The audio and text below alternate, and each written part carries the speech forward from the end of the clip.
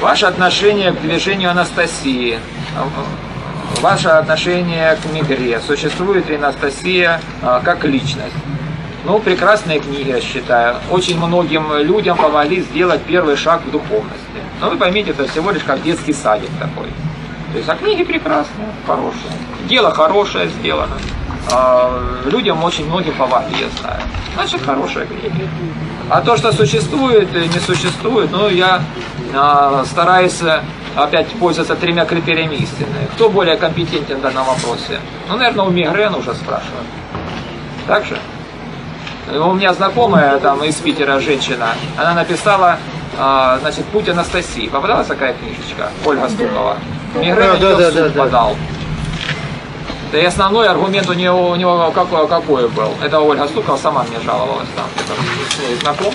Значит, аргумент, не, не сам Мегре не присутствовал на суде, а его какой-то там адвокат был. Там, но он все это как бы от имени Ме- Мегре там выступал. И основное обвинение было такое, что Ольга говорит, ну что, я, э, вы, э, Мегре контактирует с Анастасией, я контактирую. И вот с ее слов я написала книгу. Чё, чё? Гениально. А тогда адвокат а, говорит, ну как э, вы можете контактировать с Анастасией, когда это вымышленный образ типа красной шапочки, поэтому платите нам вот такую-то неустойчивую. Это все как бы от имени Майри было заявлено. Это Ольга Стукова мне сама. Так что не будьте наивны. Книги прекрасные, хорошие, читать нужно, да, но не зацикливайтесь на этом. Художественное произведение.